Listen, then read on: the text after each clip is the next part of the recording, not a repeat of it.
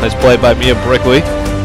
Dumps it off to Erica Stoffer. Centers it for Smith, and that's a goal. Sammy Smith, number 19 on the season, with 27-10 left in the first half. And that was anything, and now she's making a statement here, and she's getting around the defense, and she's making plays happen. Kendall Brown puts it in. Sammy Smith, another one. 2 0 Keene State. That's goal number 20 for Sammy Smith.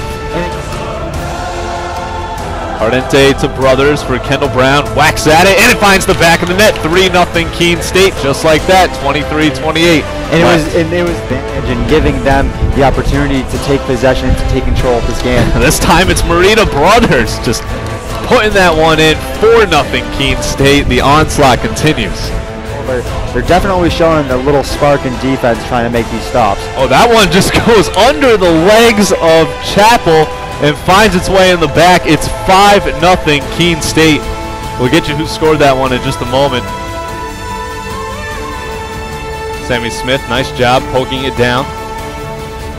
He puts it on, and it finds the back of the net. That's another goal for Sammy Smith as it went off of the leg pad of Chapel and in. 6 0 Keene State. That's goal number three for Smith. Jensen Dandino leading the pack, gives it off to Brittany Cardente. Keene State's got another great chance to score right now. Cardente in the corner trying to center it. And she does for Dandino, working against it. And there is Stoffer, puts it in. That's Stoffer's third goal of the game, number 13 on the season, 7 0 Keene State. And Jensen Dandino trying to get by one defender. She does. And Chapel comes away and kicks it away.